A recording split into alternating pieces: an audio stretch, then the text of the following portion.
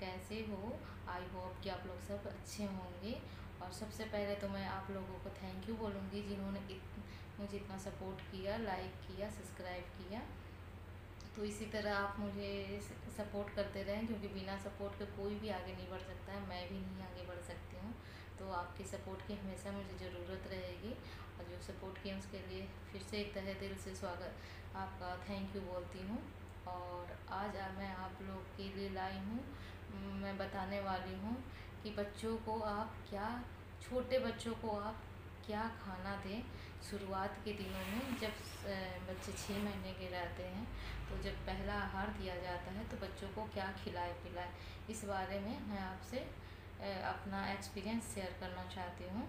और ऐसे तो सब माओं को पता होता है कि छोटे बच्चों को क्या दिया जाता है लेकिन जो सबसे पहले माँ पहली बार माँ बनती है तो कुछ ऐसे उन्हें परेशानियाँ होती है कि मैं अपने बच्चों को क्या दूँ, क्या ना दूँ, क्योंकि मेरे साथ भी ऐसा हुआ था कि मैं सोचती थी क्या दूँ, क्या नहीं दूँ तो बहुत लोगों ने बहुत तरह की चीज़ें बताई कि ऐसे बच्चों को खिलाओ, इस तरह पिलाओ तो मैं उसी तरह खिलाती पिलाती थी तो मैं सोची कि आप लोग से अपना एक्सपीरियंस शेयर कर दूँ, ताकि आप लोगों को जिन्हें ज़रूरत हो उससे मदद मिल सके, इससे सब हेल्प मिल सके।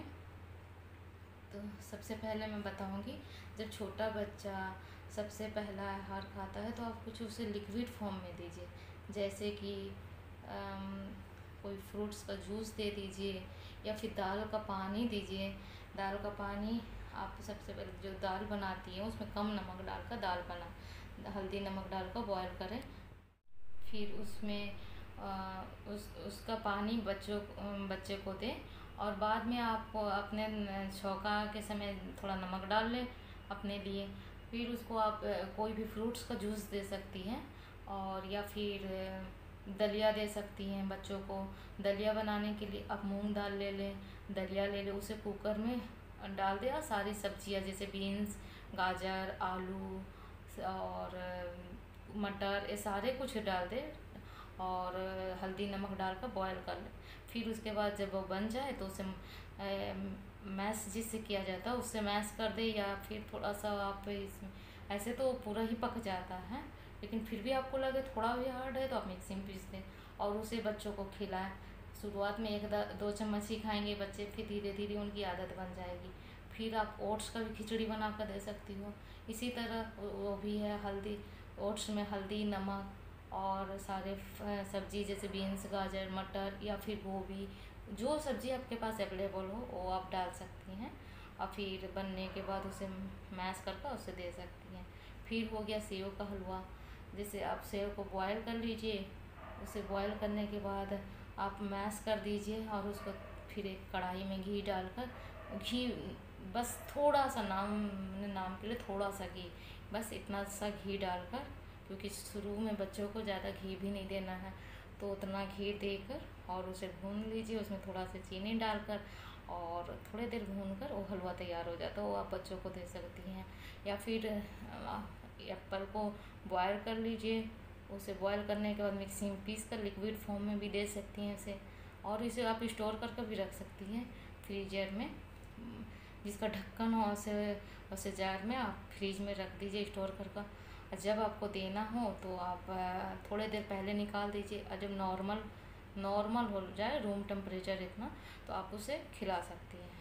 फिर और आउट दलिया के दलिया के, दलिया और मूंग दाल के साथ पालक भी डालकर बना कर दे सकती हैं बच्चे को। और फिर आप केला केला केला को मैश करके दे सकती है। नारियल पानी भी दे सकती हैं। ये सारे कुछ आप बच्चों को दे सकती हैं। और सबसे अच्छा है कि ओट्स आप दे दीजिए, ओट्स की खिचड़ी बना कर दे दीजिए।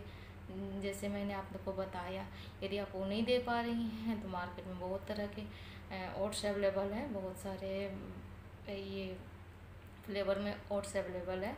तो आप मसाला ओट्स तो नहीं दे सकती हैं, या तो प्लेन ओट्स दीजिए, या फिर जो पुदीना फ्लेवर में आता है, आप उसे दे सकती हैं। वो तीखा नहीं होता है तो आप उसे दे सकती हैं।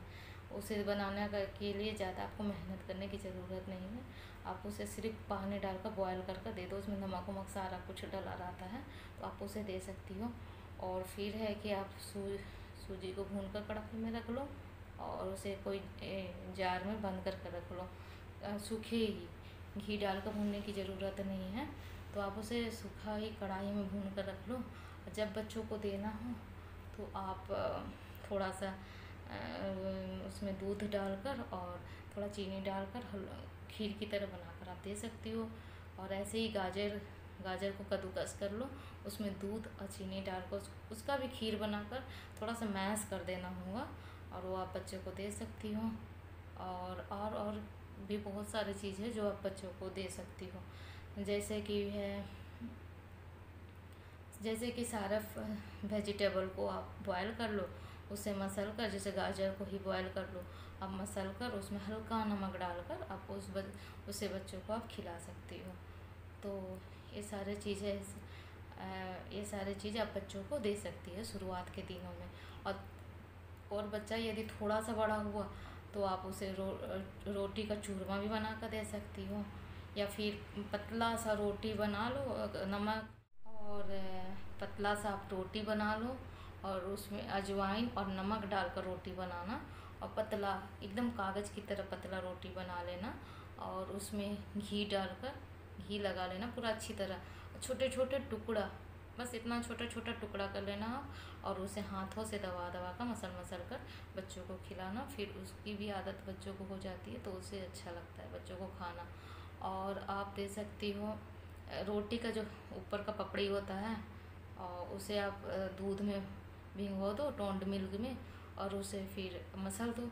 जिस तरह की हलवा होती है उस तरह का हो जाएगा और उसे आप बच्चों को खिला सकती हो। तो ये सारे चीज़ें हैं जो आप बच्चों को शुरुआत के दिनों में दे सकती हो। एक आध ही मैंने बत, एक आध ही मैंने बताया होगा कि जो थोड़ा सात आठ महीने के बच्चों को आप दे सकती बाकी छः महीने के बच्चे के लिए है सारे सारा चीज़।